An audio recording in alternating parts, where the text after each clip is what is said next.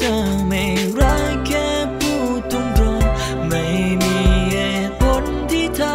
จะยื้อกันไป จะได้รู้ว่าผลสุดท้ายฉันตายหรือสวัสดีครับ มาอยู่กับช่อง The Rush Channel อีกแล้วนะครับผม วันนี้ผมจะมา spoil ซีรีส์เรื่อง 7 วันจองเวร EP ที่ 3 ตอนศพเซ่นศาลเนื้อหาในคลิปนี้เป็นเพียงแค่การ spoil เท่านั้นนะครับ ถ้าใครไม่ชอบคลิป spoil สามารถกดข้ามคลิปนี้ไปได้ แต่ถ้าใครอยากฟัง เดี๋ยวเราไปฟังกัน หลังจากที่ซันได้จัดการเรื่องของการหลงเรียบร้อย เขาก็กลับมาที่คอนโดเพื่อพักผ่อน หลังจากเหนื่อยล้ามา ซันล้มตัวลงนอนที่โซฟา จู่ๆนุชก็เดินมาหาซันซันดีใจมากที่เขาได้เจอกับนุช เขาบอกกับนุชไปว่า เขาพยายามตามหานุชแต่ก็ไม่พบ พยายามติดต่อ แต่ก็ติดต่อนุชไม่ได้เลย ที่แท้นุชก็มาอยู่ที่นี่นั่นเอง นุชคงจะโกรธเขามาก ถึงได้หายไปเลย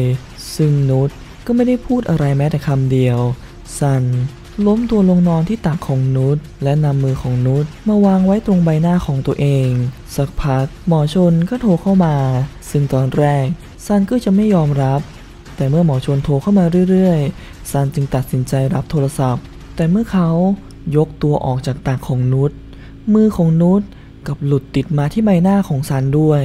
ซึ่งสภาพของมือนั้น เป็นมือที่แห้งเหี่ยว เหมือนกับเน่ามาหลายวันแล้ว และเมื่อซันมองไปที่หน้าของนุชเขากับเห็นแววตาที่เป็นสีแดง และตามร่างกายของนุชนั้น มีรอยแดง เหมือนรอยถูกมีดบาดและจู่ๆซันก็สะดุ้งตื่น ราะเสียงโทรศัพท์ของหมอชน หลังจากที่ซันรับโทรศัพท์ เขาถึงกับน้ำตาไหล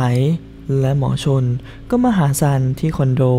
สิ่งที่หมอชนพูดกับซันนั้น คือเรื่องราวของข่าวก่อนหน้านี้ ที่ออกว่าพบมือปริศนาลอยมาตามน้ำซึ่งมือนั้นก็คือมือของนุชนั่นเองซันร้องไห้เสียใจ เพราะเขาได้เห็นดวงวิญญาณของนุชซึ่งเขาคิดว่านุชคงจะเสียชีวิตแล้ว ซันบอกกับชนว่า เขาไม่คิดเลยว่ามันจะเกิดเรื่องแบบนี้ขึ้นกับนุชเช้าวันต่อมา หมอชน พาซันมาที่สถานีตำรวจ เพื่อมาให้ปากคำทางตำรวจ ได้บอกกับซันว่า เมื่อสักครู่ มีพี่สาวของนุชเข้ามาให้ปากคำไปแล้ว ซึ่งซันบอกว่านุชเขาไม่เคยเล่าให้ฟังว่าเขามีพี่สาว เมื่อซันหันไปก็พบว่าพี่สาวของนุชนั้น เธอเป็นแม่ชีหรือเรียกอีกอย่างหนึ่งว่าซิสเตอร์เองซันพยายามวิ่งตามรถของซิสเตอร์นิสา พี่สาวของนุชแต่ก็ไม่ทัน ซึ่งเธอไม่ยอมหยุดรถเพื่อลงมาคุยกับซันด้วย หลังจากนั้นซันก็เข้าไปคุยกับทางตำรวจ และฝ่ายนิติเวชถึงความเป็นไปได้ว่านุชยังมีชีวิตอยู่หรือไม่ หมอบอกว่าพบเพียงแค่มือ เป็นไปได้ว่านุชอาจจะยังมีชีวิตอยู่ แต่ซันบอกว่าเขาเห็นนุชแล้ว นุชคงไม่มีชีวิตอยู่แล้ว ซึ่งทำให้ทั้งตำรวจและหมอ ถึงกับงง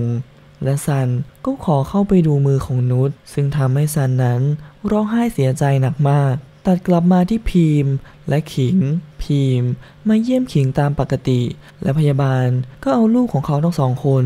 มาให้ขิงให้นม ขณะที่ขิงกำลังให้นมอยู่นั้น จู่ๆลูกของเขาก็กัดไปที่หน้าอกของขิง และมีเลือดออกมา เมื่อขิงเปิดดูใบหน้าของลูก กลับพบว่าใบหน้าของลูกนั้น กลายเป็นหน้าของผี ซึ่งขิงก็กรีดและปล่อยมือจากลูก แต่พีมก็คว้าไว้ได้ทัน ขิงจึงเล่าให้พีมฟังว่า ผีที่ขิงเห็นนั้น เป็นผีผู้หญิงตายทั้งกลม เวลาที่ปรากฏตัวให้เธอเห็น เขาจะมาในรูปแบบตัวสีแดงๆขิงจึงถามพีมไปว่า พีมไปทำพิธีตั้งศาลแล้วทำไมยังมีวิญญาณตามหลอกหลอนขิงอยู่หรือว่าพีมเคยไปทำอะไรไว้หรือเปล่า หรือไปพูดลบหลู่อะไรไว้หรือเปล่า ซึ่งพีมก็บอกว่าเขาไม่เคย และขอตัวไปทำงานต่อ พีมกลับมาที่ศาลของกาหลง และนำพวกเครื่องเส้นไหว้มาไหว้ที่ศาลเขาทำพิธีขอขมาศาลอีกครั้งหนึ่ง ว่าได้ทำพิธีตั้งศาลให้แล้ว อย่าไปรบกวนภรรยาของเขา ถ้าอยากได้อะไร ก็ให้มาบอก สักพักหนึ่งพีมก็ได้เห็นดวงวิญญาณของผู้หญิงตายทั้งกลม ยืนอยู่ข้างๆศาลพีมตกใจหนักมาก และขอให้ดวงวิญญาณ โอโหสิกรรมให้กับเขา หลังจากนั้น พีมก็กลับมาที่โรงพยาบาล พีมและขิงยืนมองดูลูกอยู่ ซึ่งพยาบาลไม่อนุญาตให้ขิงเข้าใกล้ลูก เพราะกลัวว่าเด็กจะมีอันตราย เพราะสภาพจิตใจของขิงตอนนี้นั้นยังไม่ปกติ จู่ๆขิงก็เห็นว่าผีตายท้องกลมนั้น อุ้มลูกของขิงไป ขิงจึงโวยวายแล้ววิ่งตามไป และนางพยาบาลและบุรุษพยาบาลก็เข้ามาล็อกตัวขิงเอาไว้ หลังจากนั้น ซันก็มาถามพีม เรื่องมือของนุชเพราะว่าพีมคือกู้ภัยที่เก็บมือของนุชมาได้ พีมก็บอกว่าเขาไม่รู้เรื่องอะไรทั้งนั้น อยู่ดีๆ มือมันก็ลอยน้ำมา เมื่อมีแจ้งเหตุ เขาก็แค่ไปเก็บมือเท่านั้น และไม่พบชิ้นส่วนอะไรนอกจากนี้ ซึ่งเขาก็ดูไม่พอใจนัก ที่ซันเข้ามาถามเขาในสถานการณ์แบบนี้ หลังจากนั้นพีมก็ไปยืนเฝ้าลูก จู่ๆผีแต่ท้องกลมก็มาปรากฏตัวด้านหลังของพีมเมื่อเขาหันไปกลับไม่พบอะไร แต่กลับพบว่าขิงทำท่าทางแปลกๆ และเธอก็อุ้มลูกไปพีมพยายามวิ่งตามเรียกให้ขิงหยุดและให้เอาลูกมาคืน แต่สิ่งที่เขาได้เห็นนั้น คนที่เอาลูกของเขาไป ไม่ใช่ขิง แต่กลับเป็นดวงวิญญาณของผีตายท้องกลม ที่เอาลูกของเขาไป และขิงตัวจริง ก็ได้ลุกขึ้นมาจากเตียง และเดินตามหาพีมและลูกพีมวิ่งตามดวงวิญญาณของผีตายทองกลม มาถึงข้างถนน ซึ่งผีตายทองกลม ก็เหมือนจะทำร้ายลูกของพีมและเรื่องราวก็ย้อนไปในตอนที่พีมกำลังขับรถกู้ภัยอยู่ จู่ๆเขาก็ได้ขับรถไปชนผู้หญิงท้องคนหนึ่ง เธอร้องขอให้พีมช่วย ด้วยความที่พีมกลัวความผิด เขากับขับรถหนีไป และปล่อยให้เธอนอนตาย โดยไม่ใยดี และตัดกลับมาณปัจจุบันพีมตัดสินใจวิ่งข้ามถนนไปเพื่อช่วยลูก และเขาก็ถูกรถชน รถที่ชนพีมนั้น ขับออกไปโดยที่ไม่สนใจพีมเลยแม้แต่นิดเดียว เหมือนเช่นที่เขาเคยทำกับผู้หญิงท้องคนนี้ และพีมก็ได้เสียชีวิตลง ขิงได้พูดกับซันว่า พี่เห็นแล้วใช่ไหม ว่าขิงไม่ได้บ้าขิงเห็นดวงวิญญาณจริง ๆ ทำไมพี่เห็นแล้ว พี่ไม่ยอมช่วย ทำไมถึงปล่อยให้พีมตาย ซันรู้สึกผิดว่าเขาเห็นดวงวิญญาณที่ตามหลอกหลอนพีม แต่เขาไม่ยอมเข้าไปช่วย ไม่งั้นพีมคงไม่เสียชีวิตแบบนี้ และขณะนั้นนุชก็มาปรากฏตัวให้ซันเห็น